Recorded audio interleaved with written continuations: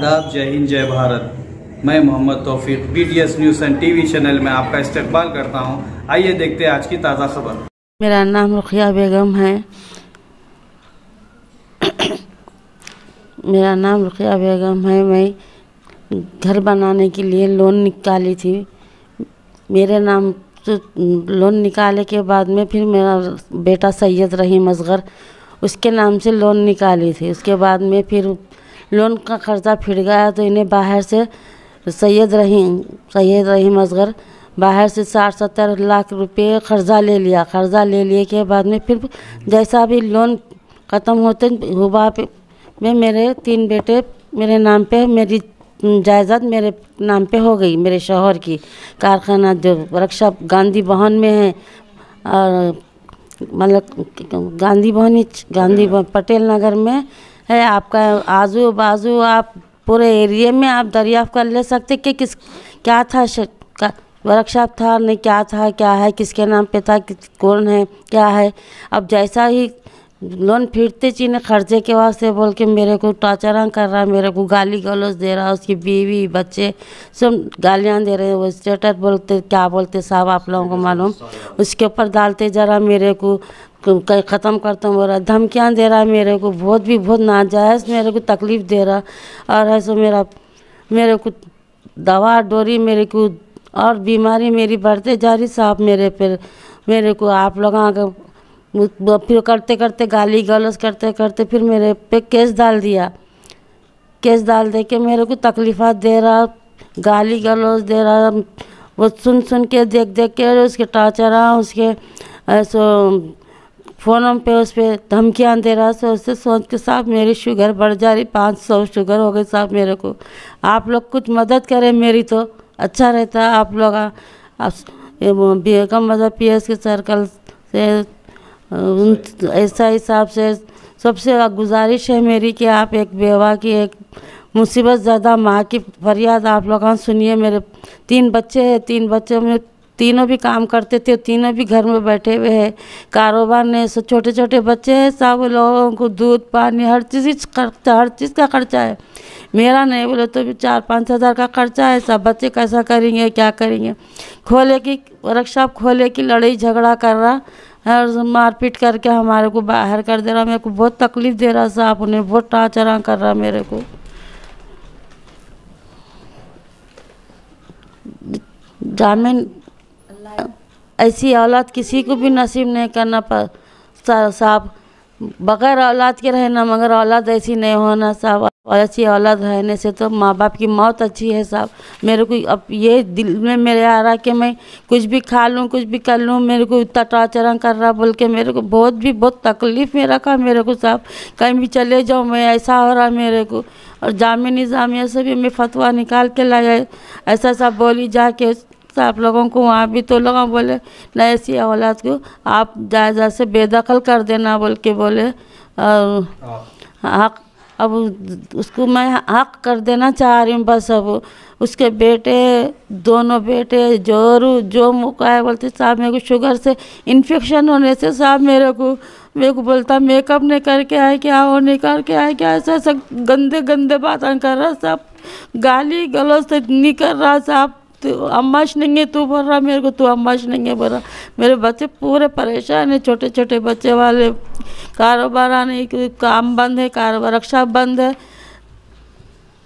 Appeal कर रही हूँ पुलिस कमिश्नर साहब से कि मेरी इल्तजा है कि आप मेरी मदद फरमाइए, आप ऐसा ही साहब, जितने भी जवाना है सब। जो भी है मेरे को मदद करो आप लोग आपकी उम्मीद पे बैठी हुई हूँ मैं बस। केस डाल के अलग परेशान कर रहा है ऐसा अलग परेशान कर रहा बस मेरे को मेरा वर्कशॉप मेरे को खोलना है मेरे को। कारीगरों को लेके काम करना है है बच्चे कारीगर भी बेकार है। एक के तरफ़ से कारीगर भी बेकार उनके भी बीवी बच्चे हैं लोग भी बेचैन हो रहे कब कारोबार खुला तो कब जाना बोल के। सिर्फ़ मेरे को एक ही इल्तजा है कि मेरे को आप कार कस, कस, का, कारखाना है इसमें मेरे को इजाज़त दीजिए खोलने की लाका खोल के कारोबार करने की इजाज़त दीजिए मेरे को। तू माँ खड़ा है होगा तू। तू? तू? बोला सवारा। तू है रे। तू बोला बोला ना। तू बोल रहा। तू बोला तू ना। है? रे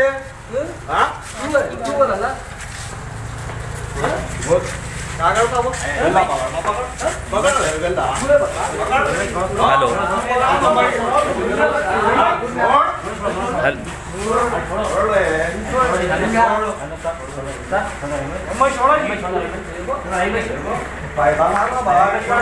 ಮಾಡ್ತಾ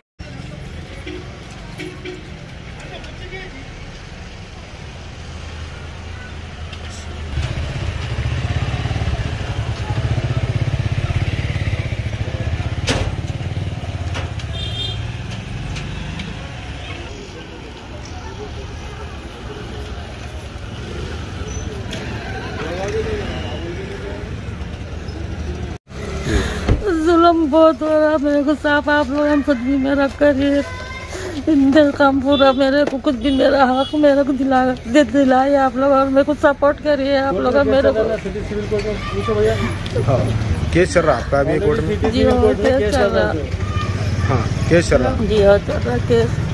केस उनके भी चल रहा मेरे को भी चल रहा मगर उन्होंने आके कब्जा करके बैठे हुए फिर दूसरे लोगों को कब्जा किसके हाथ में मतलब ये कब्जा पहले किसके हाथ में था? हमारे साथ में हाँ? मेरे साथ में फिर अभी ये तीनों इनों के साथ जाके बैठे फिर बैठे ने कब्जे पे बंद कर दिए थे बार बार हाँ। हो के। हाँ। बार बार लाकन डाल रहे थे हम लोग में चार चार रखा दिए थे।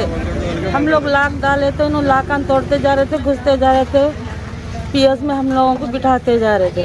उसके बाद लॉकडाउन होगा ना बोल के हम लोग खामोश बैठ गए चल रहा ना केस बोल के। अब लॉकडाउन खत्म हुए बाद में खोल के घर समाचार पूरा सामान यहाँ से रखे होने वो। रख के फिर उल्टा बाहर वालों को किराए से दे रहे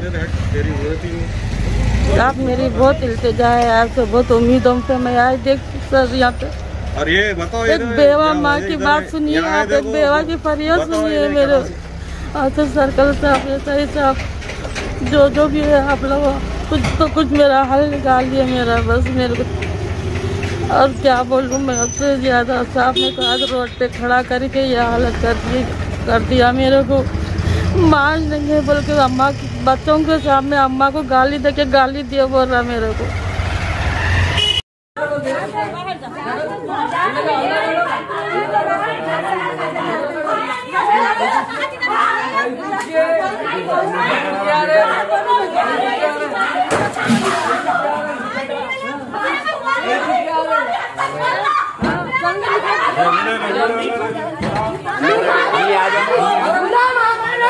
काय बोलणार जाय ना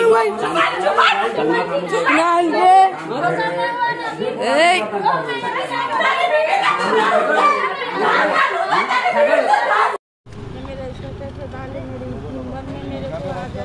मेरे साथ माँ की इज़्ज़त भी नहीं मालूम उनको माँ क्या चीज़ है? नहीं मालूम है उनको बस एक दुश्मन हो के सर का मेरे को फकत ऐसा स्टेटस पर ऐसा दार मेरी ये उम्र में ही मेरी इज़्ज़त ऐसा रोड पे लेके आ रहे हैं जबकि मेरा शोहर बहुत इज़्ज़त से कमा के करके इज़्ज़त से मेहनत से करके रख के वो करे मेरे को। ये लड़ाई आप आस पास से कहीं भी पूछ ले सकते हैं आप। वर्कशॉप था या ये घर था क्या था सो। और कैसा मेरे शोहर थे वो भी आप लोग पूरी जाँच पड़ताल कर सकते। ये सुअर वगैरह उतार के। सुअर है अम्मा चोर है एक एक बात स्टेटस पर भी आ रहे हैं वो बस।